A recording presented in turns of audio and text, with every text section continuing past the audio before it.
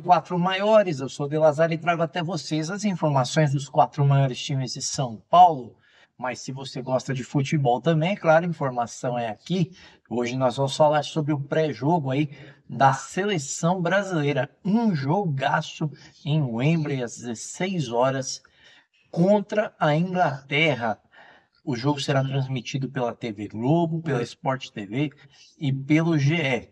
E claro que nós, após o jogo, traremos a live para vocês aí às 18 horas, comentando tudo que aconteceu nesta partidaça. O Brasil que vem de cara nova aí, vem com um novo treinador, Dorival Júnior. Ele saiu do São Paulo, né? Foi chamado para a seleção e assumiu a seleção no começo deste ano e tem esse novo desafio de colocar a seleção brasileira nos trilhos novamente. A seleção brasileira que vem de três derrotas, perdeu para o Uruguai, para a Colômbia e para a Argentina. A Inglaterra, por sua vez, vem aí de 10 jogos de invencibilidade, desde a Copa do Catar, quando perdeu para a França, ele ganhou oito partidas e empatou duas partidas. Esse confronto que o Brasil fará contra a Inglaterra é um confronto já de dois velhos conhecidos. O Brasil que não conseguiu ganhar no novo Wembley ainda desde 2007. Ele vem aí na história dos jogos no Wembley, no velho e no novo, com 12 partidas, duas vitórias do Brasil, três da Inglaterra e sete empates. Contudo, no confronto geral, o Brasil leva vantagem, são 11 vitórias do Brasil, 11 empates e apenas 4 vitórias da Inglaterra nos 26 jogos que fizeram. Esse jogão que nós veremos hoje à tarde, certamente, pode ser a redenção da seleção brasileira, né?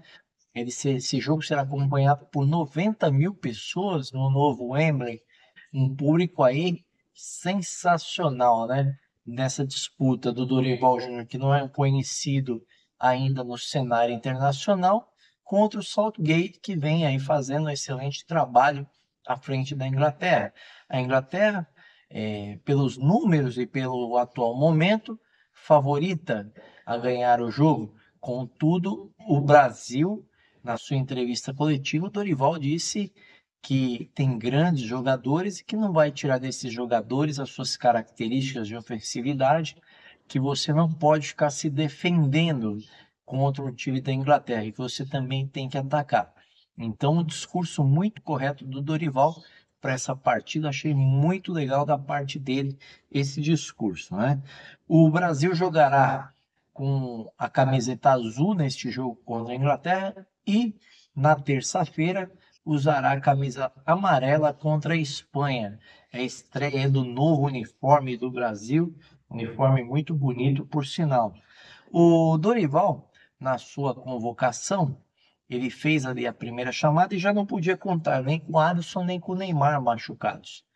E aí, após a convocação, ele teve cinco baixas, baixas importantíssimas, né? baixas de jogadores experientes. O Marquinhos, o Gabriel Magalhães, o Casemiro, o Martinelli e principalmente o Ederson.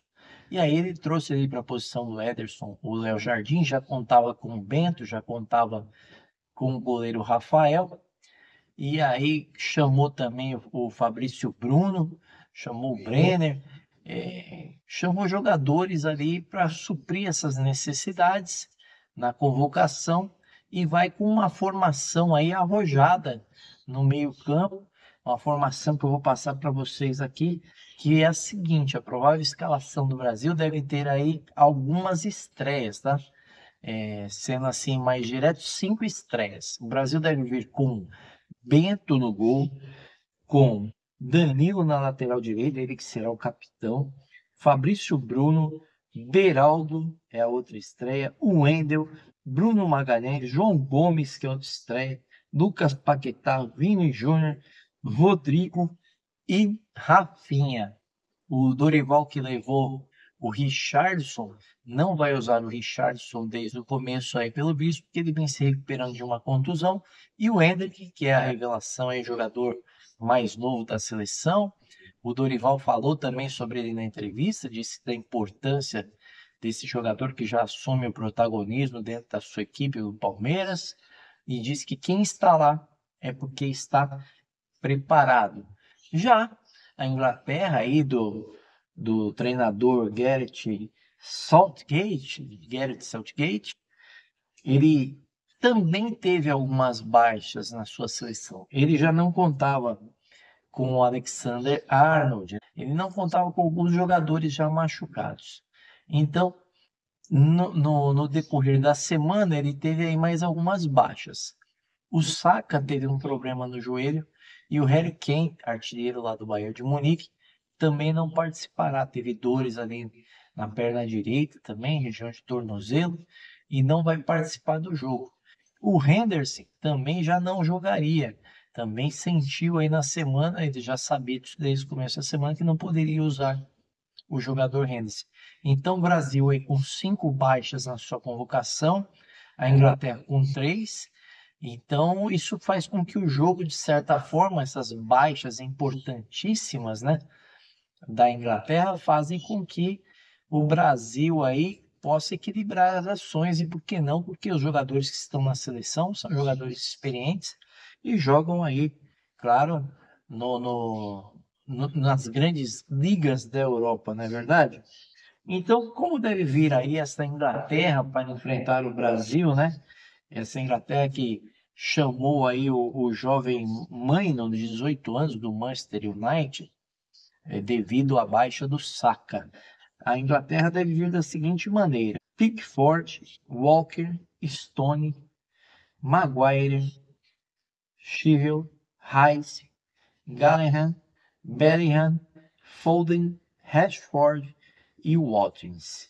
Então, como eu disse, a Inglaterra aí que não contava já com o Alexander Arnold e nem com o Rhys James, os dois aí machucados. Então a Inglaterra vem com essa provável escalação aí que eu acabei de passar para vocês.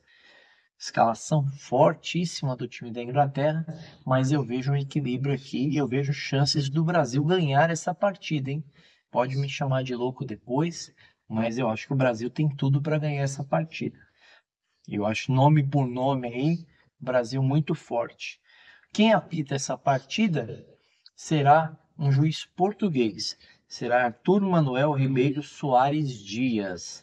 Os assistentes serão Paulo Alexandre Santos Soares e Pedro Ricardo Ferreira Ribeiro, todos de Portugal. O VAR também comandado por Tiago Martins de Portugal.